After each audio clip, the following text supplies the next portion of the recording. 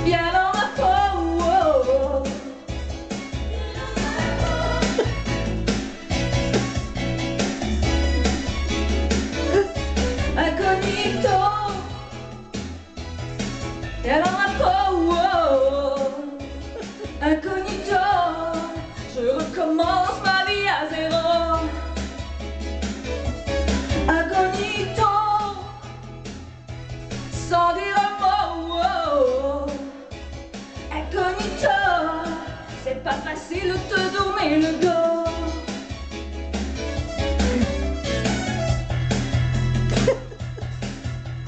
Je la connais, mais